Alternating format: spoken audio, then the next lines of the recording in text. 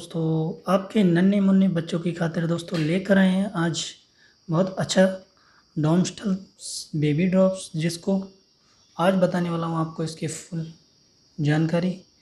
वो भी दोस्तों इसकी डोज और इसके साइड इफ़ेक्ट के साथ। तो दोस्तों, बने रहिएगा, वीडियो में कहीं जाइएगा नहीं लास्ट तक देखिए वीडियो बिना स्किप किए। और दोस्तों, इससे रिलेटेड जो भी बीमारी है, बचाइए अपने नन्हे मुन्नों को, उस बीमारी से दूर रखिएगा। और समझते हैं, इसकी फुल डिटेल क्या है? तो चलिए दोस्तों स्टार्ट करते हैं डॉमस्टर ओरल ड्रॉप्स के मुख्य इस्तेमाल क्या क्या हैं दोस्तों, इसके बारे में जानते हैं डिटेल में।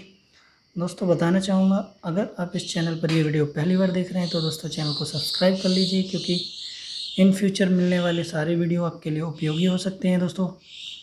और दोस्तों चैनल को सब्सक्राइब करने के साथ साथ बेल आइकन प्रेस भी कर लेना। जैसे कि फार्मेसी स्टडी मटेरियल और मेडिसिन से रिलेटेड कोई भी वीडियो आपको मिल सके। और दोस्तों, अगर वीडियो पसंद आए तो इसको लास्ट में लाइक और शेयर भी कर देना। चलिए दोस्तों वीडियो स्टार्ट करते हैं। डोमिप्रेडिन सस्पेंसन डोमस्टल ये बेबी ड्रॉप्स है दोस्तों। डोमस्टल ओरल ड्रॉप्स के मुख्य क्या क्या इस्तेमाल है तो दोस्तों, इसके लिए डोमस्टल बेबी ओरल ड्रॉप्स की सलाह दी गई है दोस्तों। इस ये दोस्तों किस किस बीमारी के लिए बच्चों के लिए काम में आता है? जैसे बच्चों को अपच की शिकायत हो जाती है मिचली आना और उल्टी की शिकायत होती है अगर बच्चों को वॉमिटिंग होती है तो आप इस ड्रॉप का इस्तेमाल कर सकते हैं, जो कि काफ़ी हद तक ये बच्चों के लिए फ़ायदेमंद होता है और इसका रिज़ल्ट काफ़ी अच्छा है। तो आप इसको इसको देने के बाद, बच्चों को इसकी डोज देने के बाद उनको इस तरह की बीमारियों से दूर रख सकते हैं। तभी आपके नन्हे मुन्ने हँसते खेलते रहेंगे। दोस्तों, जानते हैं हम डोमस्टल ओरल ड्रॉप के क्या क्या लाभ हैं इसके? तो दोस्तों, इसको डोमस्टल बेबी ओरल ड्रॉप को अगर बच्चे के शरीर में बीमारी करने वाले या बीमारी महसूस करने वाले केमिकल की क्रिया को ब्लॉक करता है और यह ऑपरेशन के बाद बड़े लोगों में, वयस्कों में मिचली और उल्टी को रोकने में भी असरदार है। डोज इस बात पर निर्भर करती है कि आप इसे किस के लिए ले रहे हैं, लेकिन इस दवा को हमेशा वैसे ही लें जैसे बताया गया है। और दोस्तों, इसकी डोज आपकी कंडीशन और दवा के प्रति आपके रिस्पॉन्स पर निर्भर करेगी। आपको दवा लेना तब तक जारी रखना चाहिए, जब तक आपका डॉक्टर आपसे उसे रोकने के लिए ना कहे। मतलब आप डॉक्टर की सलाह अनुसार इसका यूज़ करें। डॉक्टर को आपके द्वारा ली जाने वाली अन्य सभी दवाओं के बारे में बता दें, क्योंकि इनसे जो मतलब आप अपने बच्चे को किसी और दवा का इस्तेमाल करा रहे हैं तो आप उससे डॉक्टर से कुछ नहीं छिपाना है। आपको बता देना है कि इस, इससे अलग भी आप बच्चे को कौन सी दवाई दे रहे हैं, क्योंकि इनमें से कुछ इस दवा का प्रभाव उन पर पड़ सकता है। मतलब आप जो दवाएँ दे रहे हैं, उनमें से इस पर प्रभाव उनका पड़ सकता है, इसलिए आप डॉक्टर से कुछ ना छिपाएँ और सब बता दें कि आप कौन सा ड्रॉप या कौन सी टैबलेट अपने बच्चे को दे रहे हैं। दोस्तों, इसके डोज की बात कर ली हमने इसके, और ये किस बीमारी में काम में आता है उसकी बात कर ली। चलिए दोस्तों, जानते हैं इसके क्या साइड इफ़ेक्ट हो सकते हैं। इस दवा से होने वाले अधिकांश साइड इफ़ेक्ट में डॉक्टर की सलाह लेने की ज़रूरत है आपको। आप डॉक्टर से जर डॉक्टर से सलाह ले सकते हैं और नियमित रूप से दवा का सेवन करने से साइड इफ़ेक्ट अपने आप समाप्त हो जाएगा। मतलब इस दवा से होने वाले अधिकांश साइड इफ़ेक्ट में डॉक्टर की सलाह लेने की ज़रूरत नहीं पड़ती है और नियमित रूप से दवा का सेवन करने से साइड इफ़ेक्ट अपने आप समाप्त हो जाते हैं। अगर आप साइड इफ़ेक्ट बने रहते हैं या लक्षण बिगड़ने लगते हैं तो आप डॉक्टर से सलाह अवश्य लें।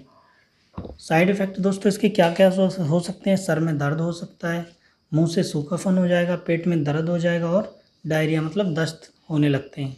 तो ये इसके साइड इफ़ेक्ट हो सकते हैं। चलिए दोस्तों, बात कर लेते हैं इसकी मैन्युफैक्चरिंग और बाकी की जानकारी की। मैंने इसके आपको यूज़ और साइड इफ़ेक्ट बता दिए हैं।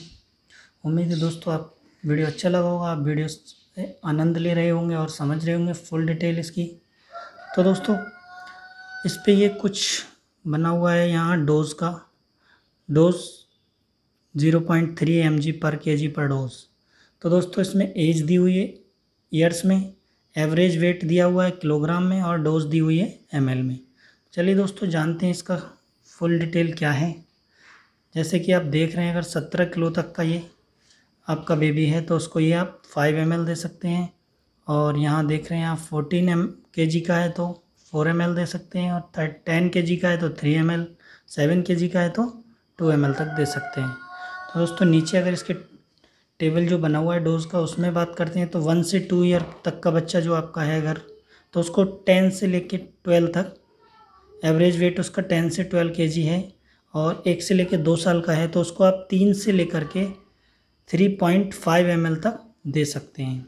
और अगर दो से लेकर तीन बरस का बच्चा है तो उसको बारह से लेकर के चौदह, और अगर उसका बॉडी वेट बारह से चौदह किलोग्राम है तो आप उसको साढ़े तीन से चार एम तक इस दवाई का डोज दे सकते हैं मतलब इसकी खुराक दे सकते हैं।